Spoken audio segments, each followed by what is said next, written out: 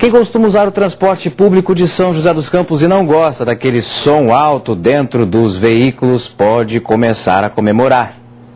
A Câmara de Vereadores aprovou ontem, por unanimidade, a lei que proíbe o som dentro dos coletivos de São José.